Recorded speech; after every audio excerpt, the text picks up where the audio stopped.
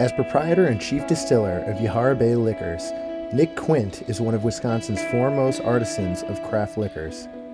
In a time when craft distilleries had yet to gain popularity in the state of Wisconsin, 60 year old Quint had the foresight and dream to create both a family oriented business as well as a brand of liquor that could compete with the very best the world had to offer. Pouring his life savings into what many would have called a risky endeavor, it took only five years for Quint and his family to produce some of the country's premier liquors, including its award winning Yahara Bay vodka, which received a silver medal from the Beverage Tasting Institute.